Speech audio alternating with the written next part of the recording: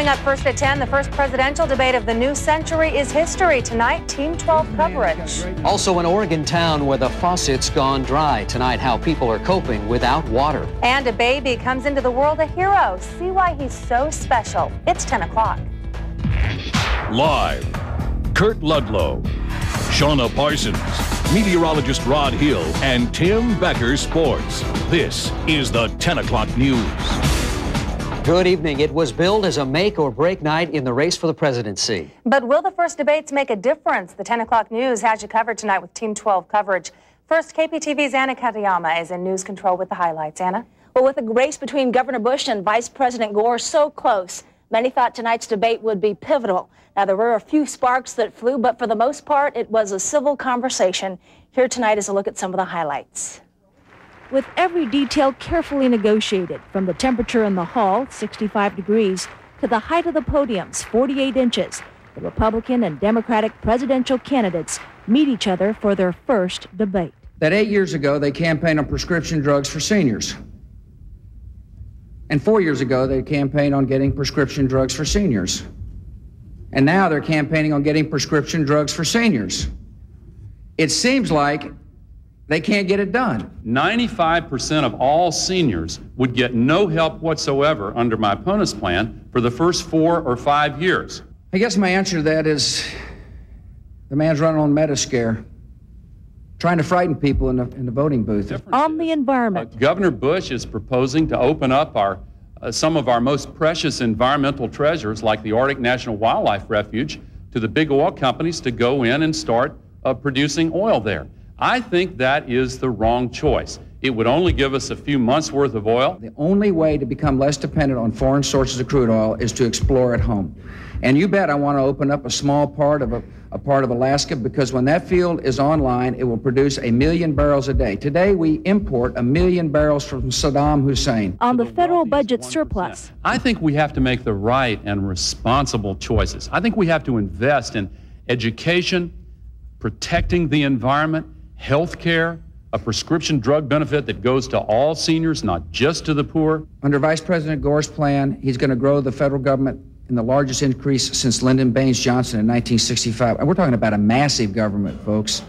We're talking about adding to or, or increasing 200 new programs, 200 programs, 20,000 new bureaucrats. For the most part, the candidates maintained their composure throughout the hour and a half debate though at one point Governor Bush did lose his train of thought. Well, I've been standing up to big Hollywood, big trial lawyers.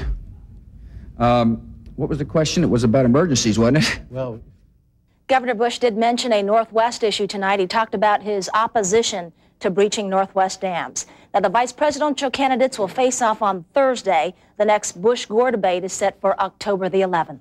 And then one more after that. All right, Anna, right. thank you. Attending the debates tonight, Skip Lozier. Yeah, he joins us now live from Boston. Skip, the question were there any big surprises in the debates tonight? No, no real big surprises in the debates uh, tonight. No man hit a home run here tonight, and neither made a major miscue. By the way, there are some instant polls out tonight. Two of the three of them show that the voters who watched the debate tonight seem to think that Al Gore may have had a slight uh, improvement in his position over Vice or over Governor George Bush, though, but that both men really improved their public images. Skip, there was a lot of uh, talk tonight, earlier today, about the Kennedy Nixon debate, a lot about appearance and how that really kind of changed the way voters perceived those two candidates. Anything stand out tonight in the way of appearance when it came to Gore or Bush?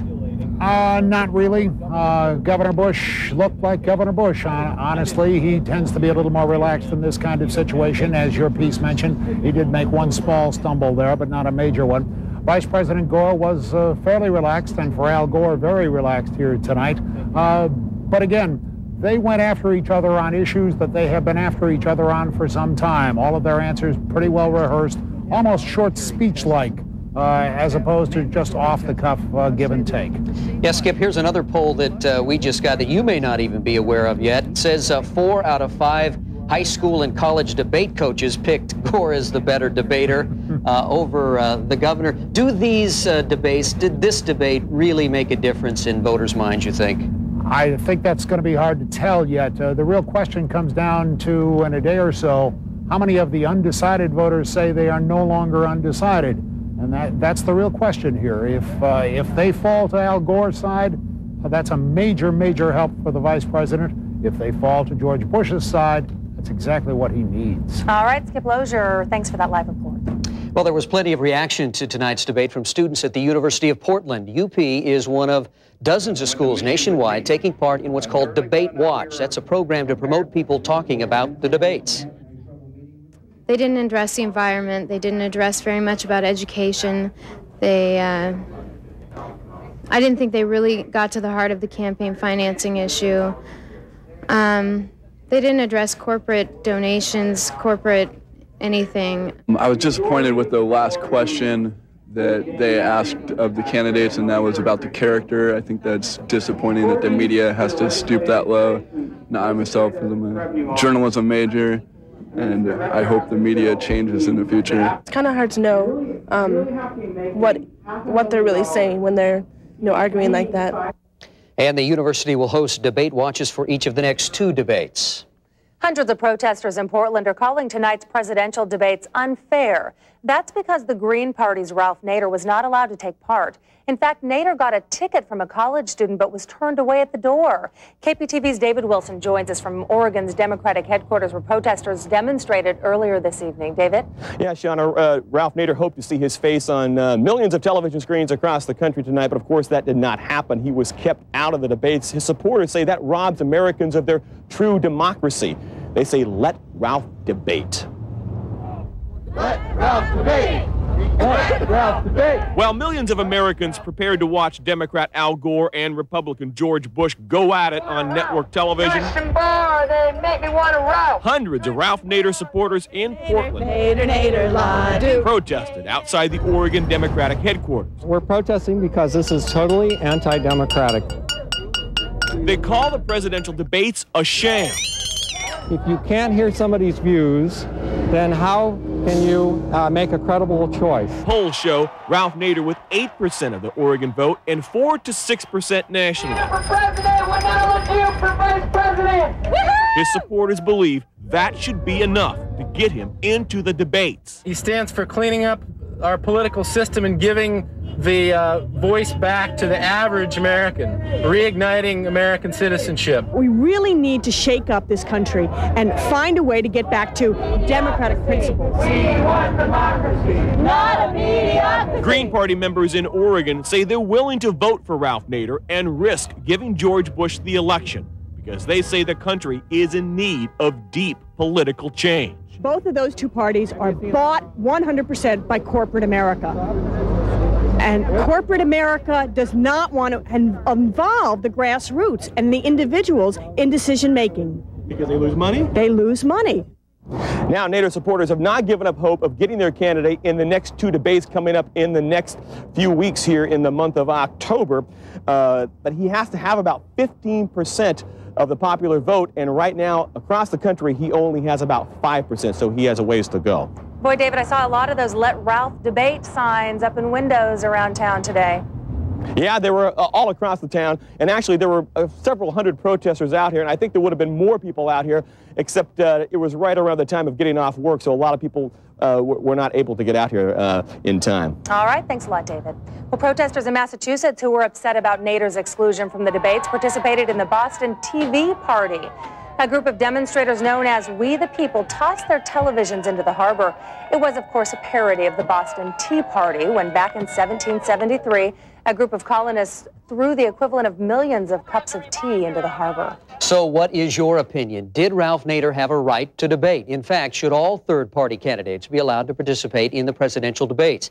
That's tonight's 12 Talkback online poll question. Log on to our website at Oregons12.com and we'll have results on tomorrow's 10 o'clock news. Now, elections are just over a month away now. Be sure to stay with KPTV Oregon's 12 and the 10 o'clock news for continuing coverage of the presidential debates as well as election night coverage for Oregon and Washington.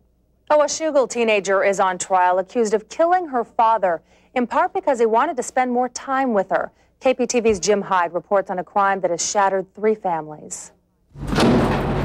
The charge against Tiffany Williams is first degree murder. The state's argument that the 17 year old daughter of Jim Williams and her boyfriend, Colin Folsom, and their friend, Jason Schrader, plotted to kill Mr. Williams as he slept last November 11th. This was a brutal homicide. This man did not die easy.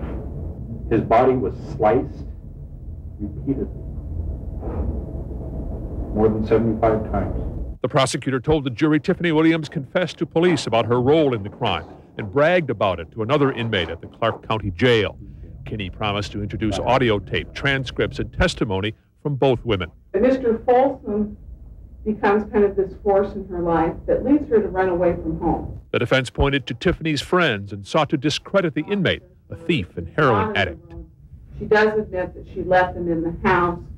There's really no testimony to submit to you as to this alleged plan. The victim's wife and defendant's mother took the stand, testifying that Tiffany had a good relationship with her father, but changed her attitude and style of dress in the months before his murder. Mrs. Williams and her eight year old son found her husband's body. Walked in the bedroom, I saw the spots, I saw the blood stains on the blankets. And I walked a little bit past bed, I saw him floor pissed. The prosecutor alleged that Tiffany herself had taken a couple of strokes among the more than six dozen wounds the medical examiner found on the body. The defense argued she was not an accomplice to the crime.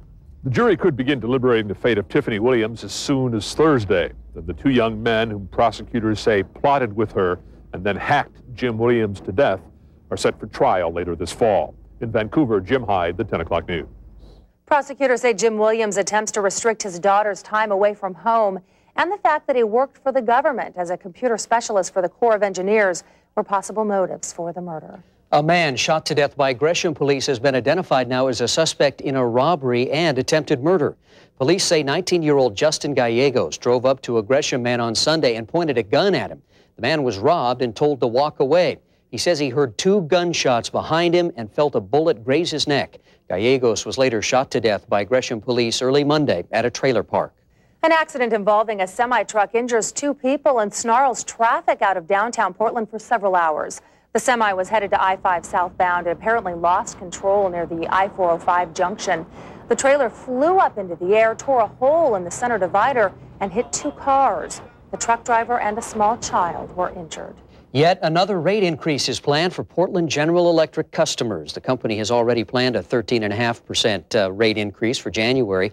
The other hike will be about 5%, and it will go into effect in October of next year. The first increase was to pay for a hike in the cost of wholesale electricity. The other will cover labor and technology costs. Coming up, most of an Oregon town is without water tonight. It could stay that way for some time to come. We'll take you to the town to see how people are coping at 1015. Also, a new class will soon be taught at your teen school, The Importance of Life, a new hard-hitting campaign to stop teen suicide at 1032. Plus, a baby is born to save the life of his big sister. It's an amazing story at 1046.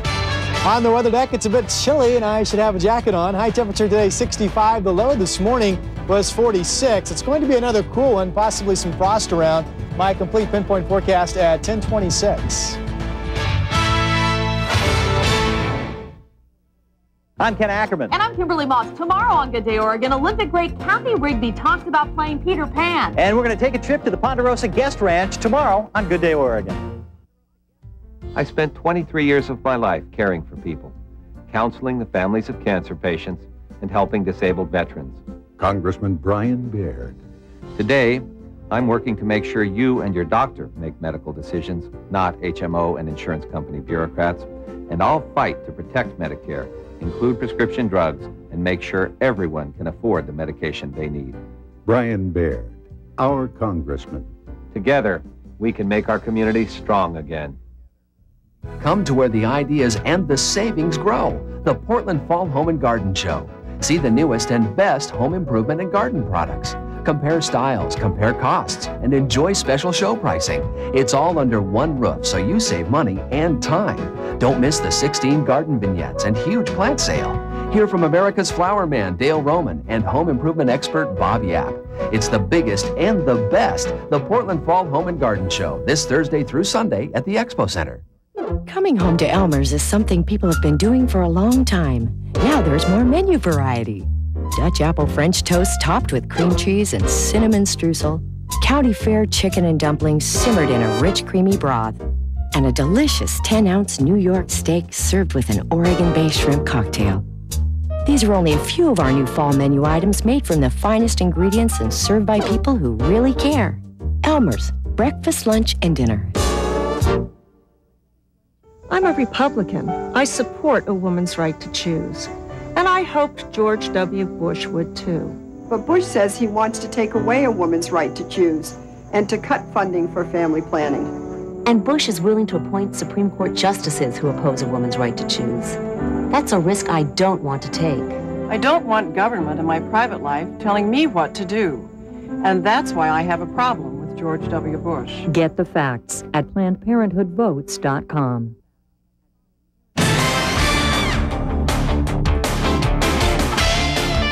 Hundreds of Oregonians have no running water tonight, and it could be that way for weeks. Something happened to the water supply in Grand Ronde. That's a small town between McMinnville and the Oregon coast.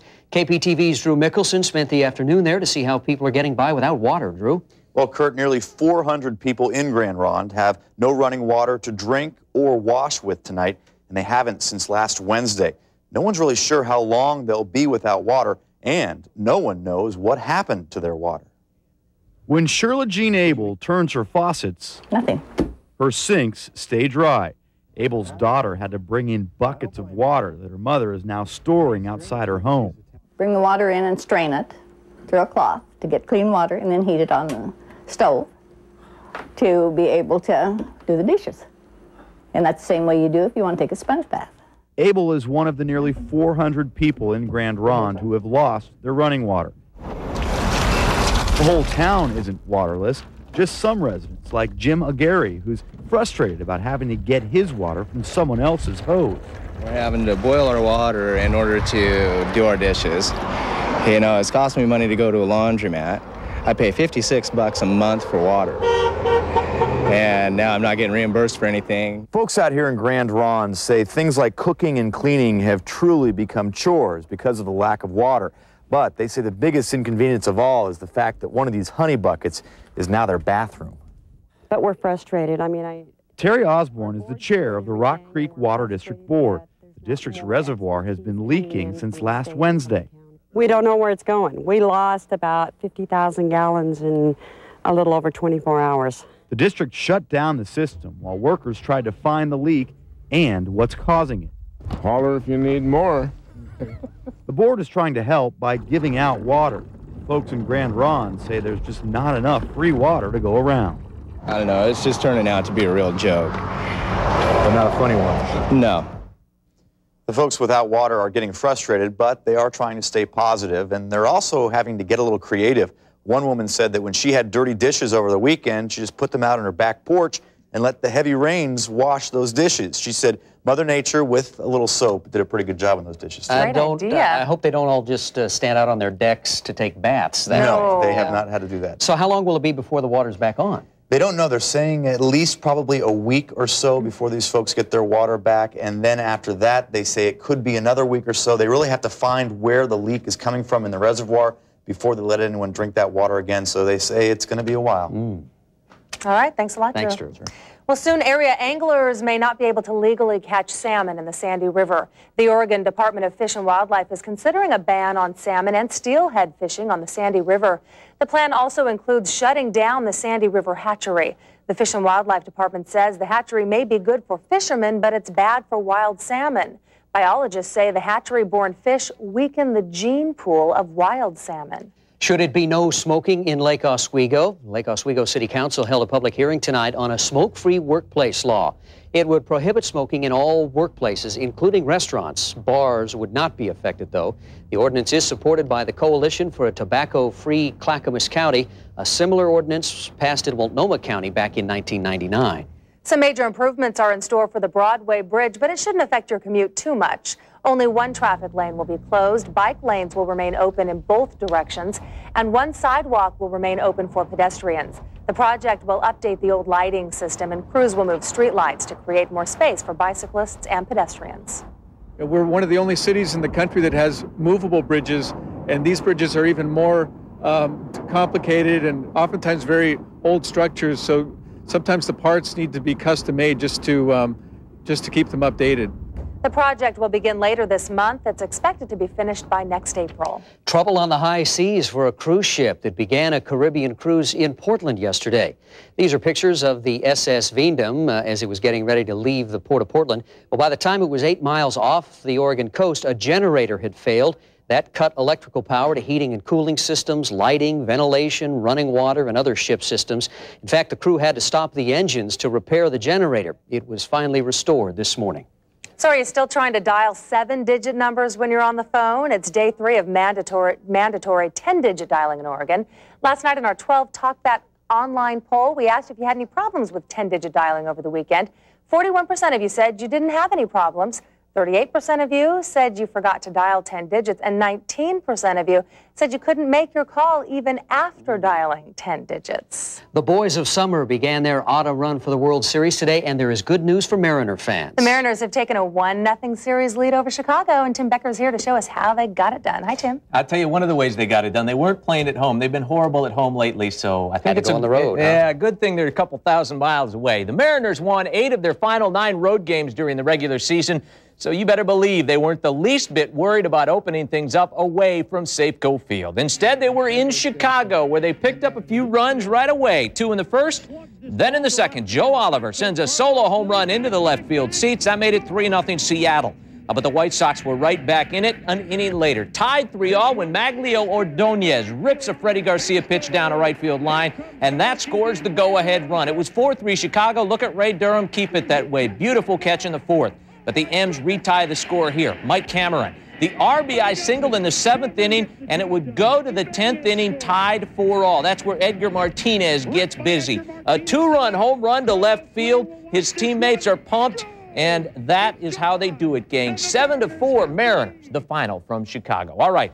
Hot Shots tonight involves another baseball playoff game, an exciting and, you know, somewhat bizarre event for Cardinal pitcher Rick Ankiel.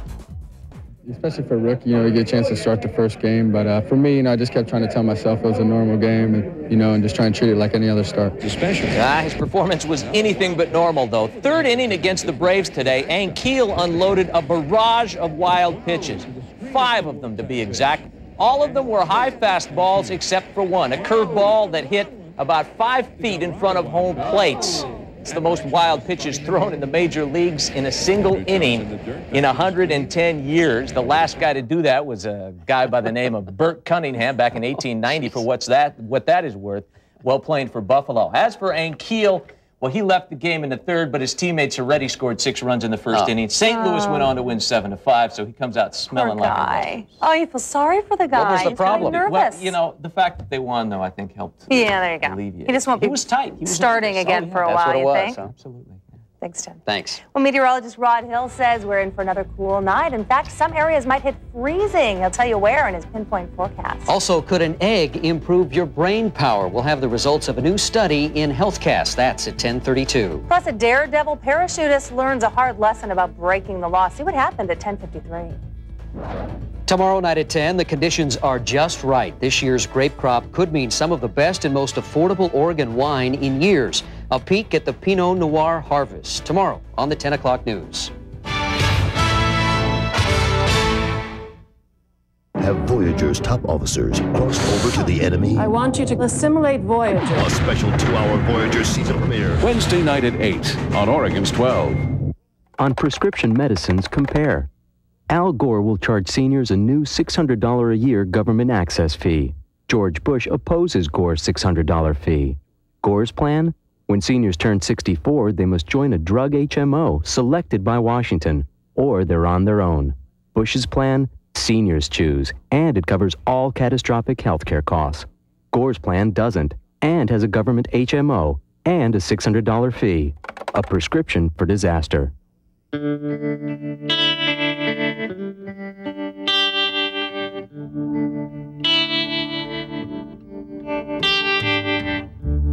wind is out there, whispering past our faces, as if to say, I can breathe life into anything. Clean wind power. Just one more way Portland General Electric is preparing for tomorrow, today. Let the future begin. An 11-year-old boy is arrested for robbing a bank. The story behind this preteen robber coming up on the 10 o'clock news.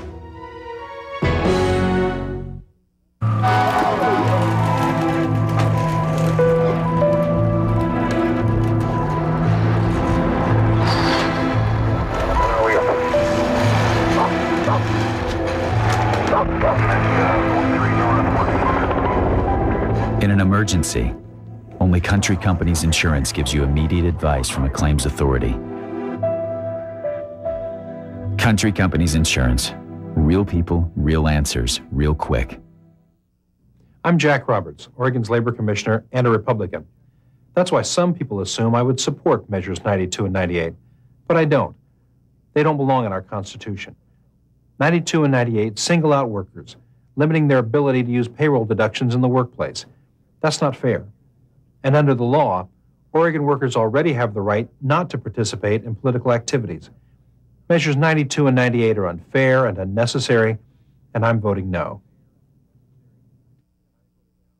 The Department of Transportation now knows how much it'll cost to repair Highway 35. It could be as much as $1 million. Heavy rain over the weekend, estimated at more than three inches in eight hours, and that made the White River overflow. It tore a hole in the highway and eroded the sides of the road. But here's the good news. ODOT says Highway 35 will be fixed in time for the opening of ski season. Mount Hood Meadows is scheduled to open around November 15th. Last year, the ski area opened November 26th. And for those of you who weren't with us last night, uh, Shauna Parson joins us now uh, on the anchor desk. Yeah. She is a snowboarder, Rod. Looking well, forward to the skiing okay. weather up there I've on the mountain. I've snowboarded a couple of times and it was really fun, but I'm I'm not the best. I did enjoy it though. Now, do you ski as well? I do. I'm you... not I'm not very good at that either, but I you know, put other people's lives in danger as there I head on down the hill. She's simply not very good. I'm just not, but I do it. I like it. I'm looking forward to skiing I need Mount to try Hood. that. You ever tried it? No, it's snowboarding. Oh, it's great. It's easier than skiing, I think. You think it's so? a lot of fun, yeah. Have to go up this winter. I need something Definitely. easier than skiing. All right. Well, I'll take lessons together, refresher lessons or Okay. something. All right. We're ending this You'll love it. conversation. We're Yeah, get on with it. Hey, we start off with the current conditions. It's clear outside, and ooh, it's starting to feel chilly out there. Definitely a fall nip in the air. 56 degrees. Uh, you folks in Hillsboro right now, this is, of course, the airport along the Columbia River. Up in Hillsboro, you're down to 50. And last night, you folks got all the way down to 35 degrees. I think you have a decent chance to hit 32 by tomorrow morning, so there could be some freezing spots around the region. Uh, dew points of 44. The barometer is holding steady tonight. The wind northwest at 9 miles per hour. Satellite picture tonight is a good one. Take a look. We're beautifully clear, and we're going to stay this way for, uh, I think, a number of days. So look for a lot of sunshine tomorrow, Wednesday, Thursday, Friday. We have big area of high pressure that's parked up north of us. The circulation around this, watch the arrow, keeps giving us an east flow for days and days and days. And of course, that almost always means beautiful sunny weather for us. And eventually we'll start to warm up. This is uh, tomorrow afternoon at 512. Now, by the time we go into Thursday, wind flows parallel to these lines. We get more of a southeast flow. That will zoom us up. I think we have a chance going into Friday to hit 80 degrees for a high temperature. Here's what we did today. You know, it was uh, not really warm anywhere. The hot spot in Medford at 73. 61 up in Pendleton, and uh, you folks in Astoria this afternoon, 62 degrees. Our forecast check, we talked about a little bit of low clouds or some fog this morning, basically sunny, and yep, 44, I said it was actually 46, and I said 68, and it was actually 65, so all good marks there. Hey, last night we talked about flooding down in Miami, Florida, and this is what's the latest down there. Uh, they've had 12 inches of rain, ladies and gentlemen, since uh, yesterday morning. You see what those right there? See that car? He's driving in that water. Guess what? He has no idea if that road is washed out underneath him or not. Now, he was okay, but that was a perfect example of what not to do. A lot of people run into serious problems driving through those high spots. Again, 12 inches of rain down there since yesterday. You can see the solid flow. In fact, over Florida, a little ball of moisture down to the Hurricane Center thought there might be a little circulation forming for tropical depression. They checked it out with an aircraft not the case, but more rain expected down there tomorrow. Some hail and these storms in Iowa tonight moving toward uh, Chicago, the rest of the country. Look for yourself. Looks pretty good. Nice and clear down in Texas where it continues to be hot. Temperatures in the 90s that direction. The 80s on the East Coast today.